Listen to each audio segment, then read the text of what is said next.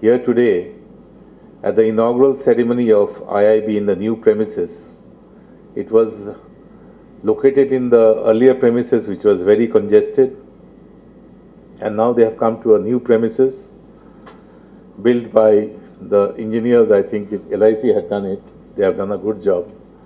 But I'm very proud over here today because I was the first to sign the society's agreement sitting in Mr. Rajnikant's chamber. I was going traveling that day and someone had to sign. I was the first signatory of this IIB. When we entered, instead of the red ribbon, it was the blue ribbon. Blue signifies peace and tranquility, and I think IIB stands for that. Whenever I think of IIB, I think of an ocean of information and analytics emerging out of this organization today as well as in the near future. Analytics is roughly a $12 billion industry.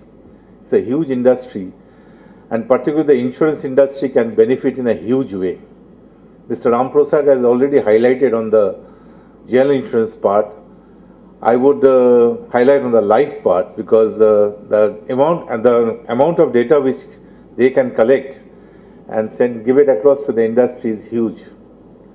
Recently, they have taken a job of mapping the agency force across India and uh, they have published a booklet on that also.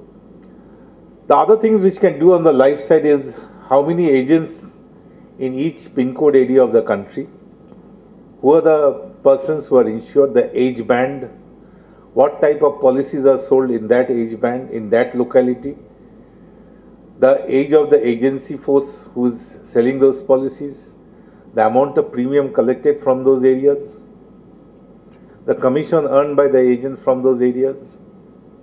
Once all this data is collected and passed on to the life insurance industry, I think it will be a very easy job for the life in, life insurance industry to work on their agent inter, intermediaries, distribution force, and also design new new products to cater to different areas of the country.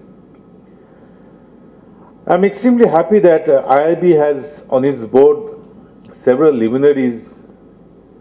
They have taken the help of the Indian Institute of Science. Mr. Krishnamurthy has been a great support and help for the designing of the architecture of the IT platform. They have taken the help of Indian Statistical Institute. They have taken the help of other uh, institutes and the, the board of IIB is a well, a very knowledgeable, well distributed board which can give good guidelines to the IIB.